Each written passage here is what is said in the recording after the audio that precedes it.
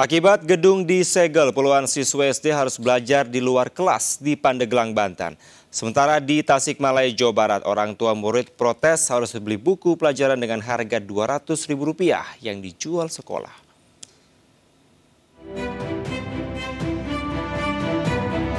Siswa kelas 6 SD Negeri Senangsari di Kecamatan Pagelaran, Pandeglang, Banten harus belajar di teras. Ruang kelas tempat mereka belajar disegel oleh pihak yang mengaku sebagai ahli waris. Meski demikian, para siswa tetap giat belajar agar tidak ketinggalan pelajaran, apalagi menjelang ujian akhir.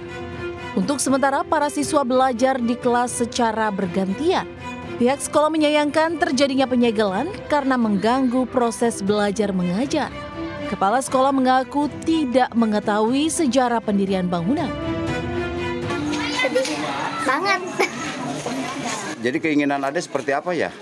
Pengen pengen kelas ini lagi.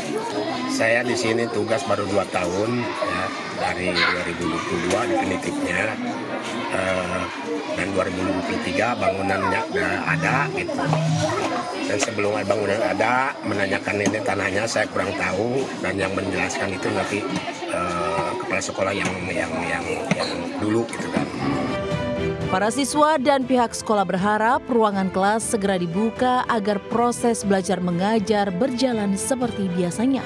Dari Pandeglang, Banten, Iskandar Nasution, iNews melaporkan.